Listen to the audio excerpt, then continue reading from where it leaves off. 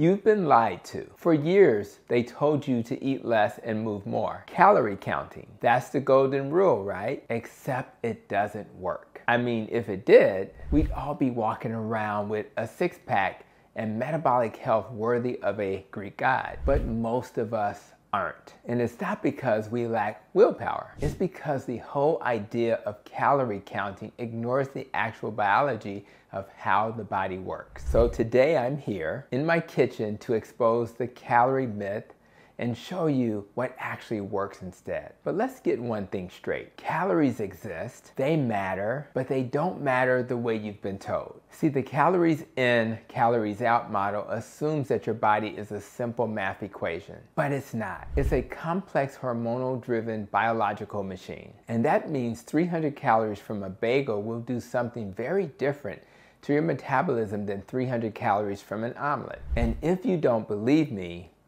Let's break it down. Imagine two people eating breakfast. One has a bagel, the other has an omelet. Same number of calories, right? So according to the calories in, calories out model, their bodies should react the same way, right? Nope, not even close. Here's what actually happens. When you eat the bagel, your blood sugar shoots up like a rocket. Your pancreas panics and dumps a flood of insulin into your bloodstream. Insulin, by the way, is the fat storage hormone. It tells your body to store energy, not burn it. And what happens after that? Your blood sugar crashes hard. You get hungry again. You crave sugar. You feel sluggish. And within a couple of hours, you're back in the kitchen looking for another fix. Now, let's look at the omelet. It's mostly protein and fat, with little to no carbs. What does that mean? No major blood sugar spike, no insulin flood, no crash. And guess what? You stay full for hours. So while both meals had the same number of calories, one of them set you up for fat burning and the other set you up for fat storing. After that example, you still think calories are the only thing that matters? If you want to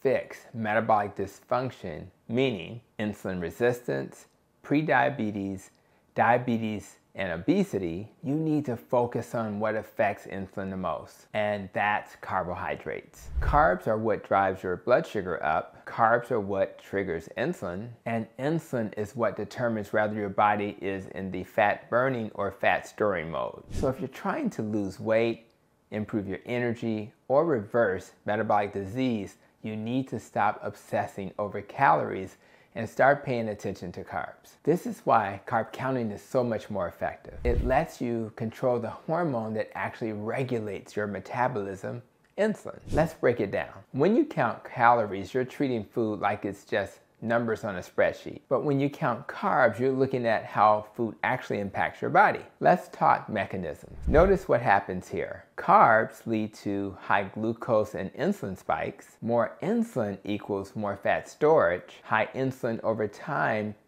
leads to insulin resistance. Protein, on the other hand, leads to minimum insulin response and is important in helping you repair muscle and keeping you full. Finally, fat virtually no insulin response. It's a satiety powerhouse and encourages fat adaptation. This is why people on the low carb diet end up eating fewer calories without even trying. Their hunger hormones reset. They're not constantly in the eat, crash, repeat cycle. They eat until they're full and don't need to snack every two hours. So if you want to improve your metabolic health, start paying attention to carbs, not calories, not macros, carbs. And don't just assume that you know how many carbs you're eating. Look it up. Use an app like Carb Manager. You'll be shocked at how much sugar is hiding in the foods you thought were healthy. Examples of so-called healthy high carb foods include granola, whole wheat bread, fruit smoothies, and flavored yogurts. Because the truth is that most of us have been misled. And I get it, nutrition science is confusing, but the more you learn, the better decisions you can make. So let's make 2025 the year we stop blindly counting calories and start understanding food. Start tracking your carbs, pay attention to how you feel, and let your body show you what actually works. And if this video made you rethink everything you thought you knew about weight loss and metabolism, do me a favor. Share it with someone who needs to hear this. Hit that subscribe button and drop a comment below. And do me a favor and let me know, have you ever tracked your carbs before? What did you notice? Because at the end of the day, the more we learn, the better choices we make. And that's how we change lives, one carb at a time.